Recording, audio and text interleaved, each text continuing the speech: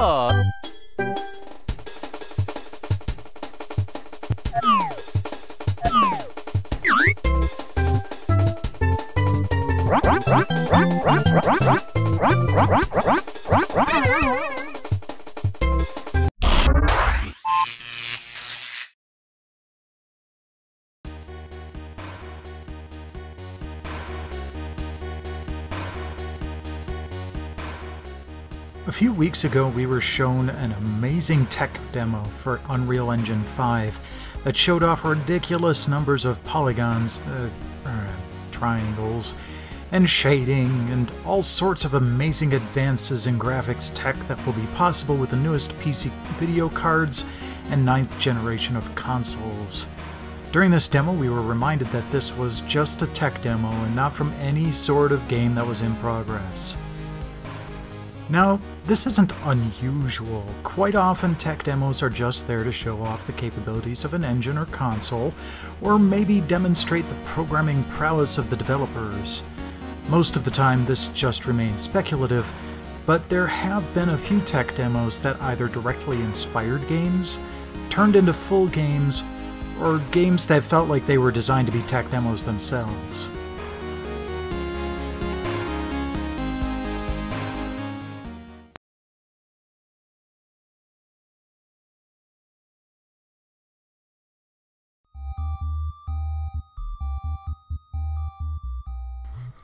One of the oldest sort of tech demo is the demo scene. Homebrew hackers that squeeze everything they can out of whatever system they got their hands on. A complete history here would take forever, but a few demos, that's with a capital D, from the scene, with a capital S, group named Plastic, released early in the PS3's life. The most impressive one was Linger in Shadows, showing some amazing real-time graphics on the Cell processor.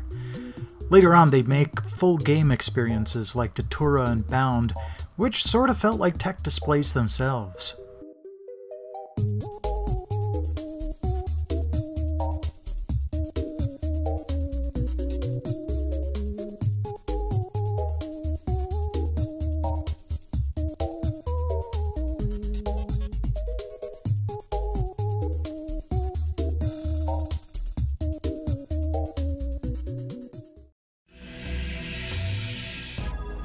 The PS3 was also the home to a tech demo featuring a bunch of rubber ducks in a bathtub.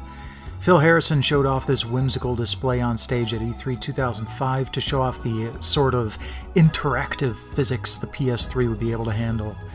Two years later, Super Rub-a-Dub popped up on the PlayStation Network, a simple puzzle game that reintroduced us to the cute little tub duckies.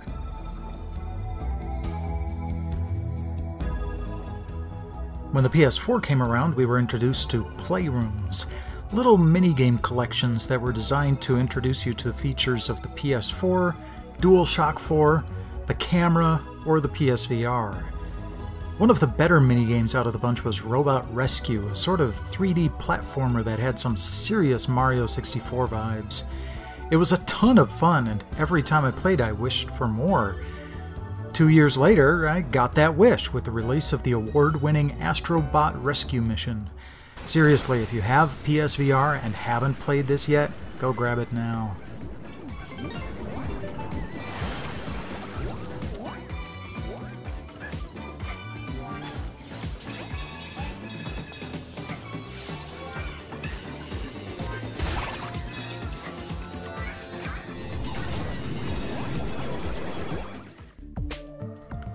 Speaking of Mario, there's a good example on the GameCube of a tech demo inspiring other games.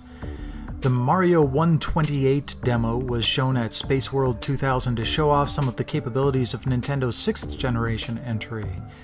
Now, fortunately, this horrific display of mass self murder didn't become a game itself, but the wandering random behaviors of the individual Marios did inspire the development of the Pikmin games, informing the motion of the eponymous plant-based helpers.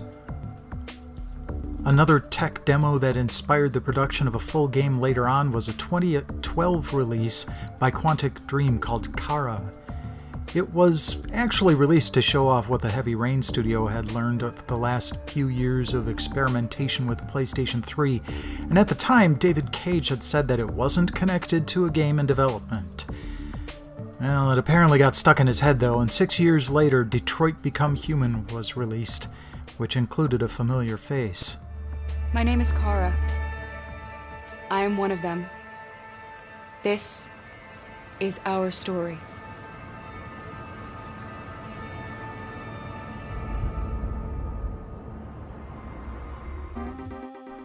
One of the games shown off for the PS5 at the official reveal on June 11th was Ratchet & Clank Rift Apart. The series has a track record for being console tech demos wrapped into an amazingly fun third person adventure. From particle and water effects on the PS2 that were so complex they could only be hidden away in a museum area, to the rift jumping showing off the PS5's raw data handling capabilities.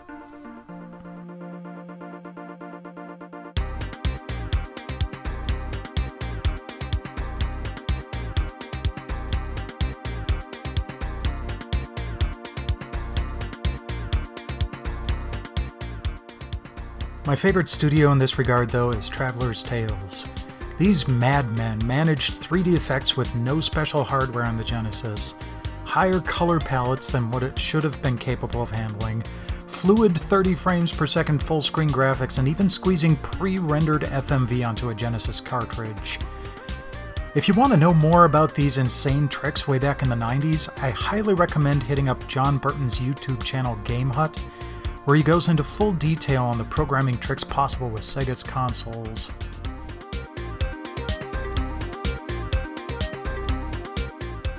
I've only scratched the surface here, but I'd love to hear from you on this. Tell me about your favorite tech insanity, whether from the demo scene, full games, or one shots, in the comments below or on Twitter at Tesseract Unfold. Meanwhile, like, subscribe, spread the word, and I'll catch you again next week.